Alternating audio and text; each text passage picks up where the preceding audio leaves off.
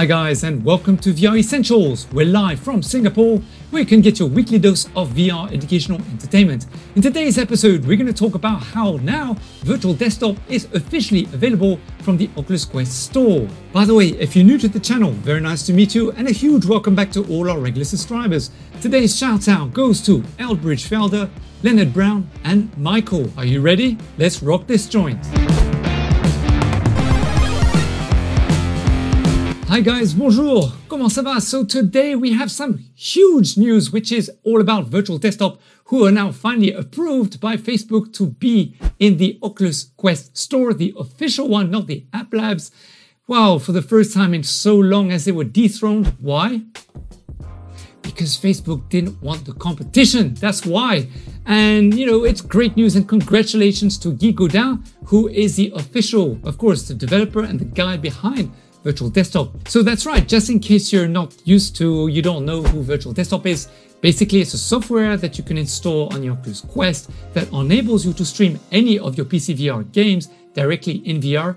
Now, they're not all compatible, but the list is growing a lot. So I would say about 60 to 70% of the games are most undoubtedly compatible. And also, if you can't play all your actual VR games within 3R6 VR 360, you can also play your other games, your normal games, and watch your movies using Virtual Desktop as it transports you into a virtual reality environment, a little bit like big screen where you have your private cinema or private different rooms that you can choose different scenes, and then you can use your keyboard or your Xbox controller, whatever it might be, to actually play your games on a virtual screen, or of course to watch movies and all that kind of stuff.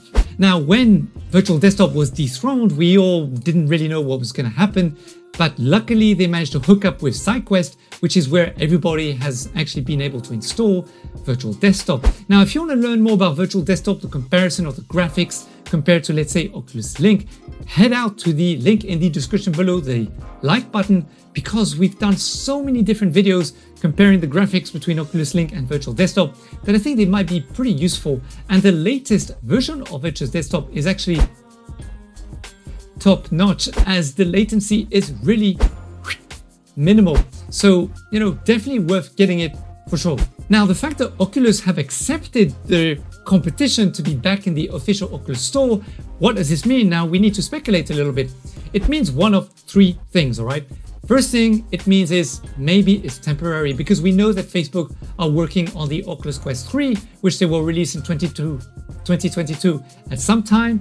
And we also know that the direction of all the VR headsets are heading towards a wireless way of connecting to the PC. For example, the Pico Neo 2, which enables you to do just that. So it's quite right to assume that, you know, Facebook are heading in that direction too, and they will need some technology to power it. So let's assume that perhaps it's possible that Virtual Desktop will be the software to power that, in which case maybe Facebook will buy out Virtual Desktop because normally Facebook don't take any prisoners. So it is, you know, we can assume that of course they're just going to dangle a big fat check in front of Guy Godin's nose and uh, say, well, you know, that's it, we're going to buy from you, or otherwise, goodbye forever.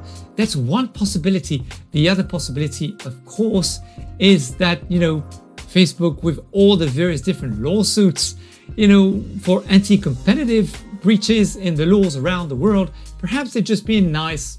Let's just assume that Facebook is being nice. They just woke up one day and went, you know, we should do at least one nice thing today or this year.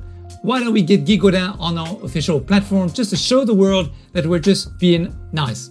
Who knows, that could also be a possibility. Or option number three, as I mentioned at the beginning, is just temporary and then Oculus will, Facebook will officially launch their own version of the software, in which case, you know, virtual desktop is only there for whatever amount of time and, you know, we'll see what happens in the future. But of course, we hope that that's not the case. Whatever happens, it is very welcome and we would like to congratulate you, Guy Godin, if you're watching this video because it is awesome news for the VR industry and we also hope that Guy Godin could work with other VR hardware manufacturers, for example Pico, or with whoever it might be, to help them to implement some of his technology there because I personally feel they could really benefit from it and it would be a great win for the industry as a whole. So Guy Godin, please don't sell out if you can, it would be great to have you around because honestly speaking, there aren't that many people who have his intellect and skills to really elevate the industry as he's done.